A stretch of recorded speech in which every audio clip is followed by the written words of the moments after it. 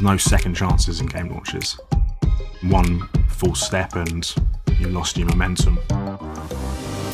For Apex Legends, none of us anticipated we'd be making a free-to-play battle royale game. Anybody can pick it up and play.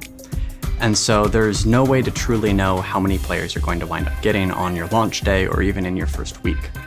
The biggest problem you're trying to solve is scale and unpredictability. If there's a queue, if the servers are down, people go and play something else, and that's it. They're not coming back. We've launched a lot of multiplayer games, and we don't want to be in the business of figuring out how to most effectively host servers for players all around the world. We don't want to build tech. Tech is something we have to do to make great games, but you have to find great partners that you can work with that can help deliver the tech for you.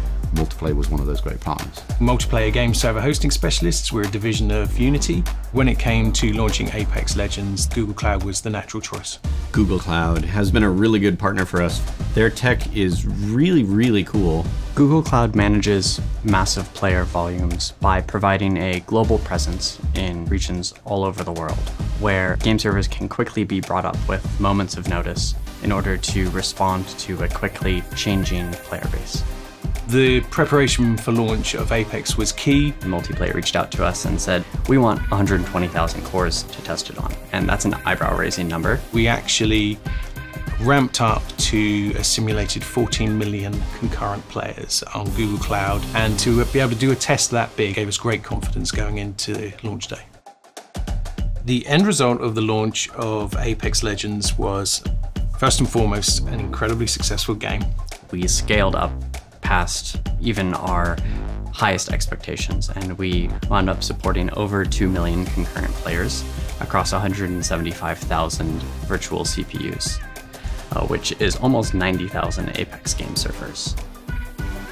Through Multiplay and Google Cloud, we were able to serve a gaming experience to 50 million people in just over three weeks, and that astounds me. You don't get a different experience in one part of the world than you do in the other because the performance of the hardware, the performance of the network is consistent across the board. And that really helps uh, with packet loss and latency and some other really big advantages for players. It's a nice win for Apex Legends that we get to build on top of Google's private network and get all the benefits from it just naturally by running our servers on Google Cloud. The most important thing with a cloud provider is that you have trust in the people and that they are fully engaged and they fully understand um, the challenge that is ahead of all of us. And that's the primary goal of all of this is to ensure that the people that have spent years of their life building the game that they love, that people get to play it and enjoy it immediately.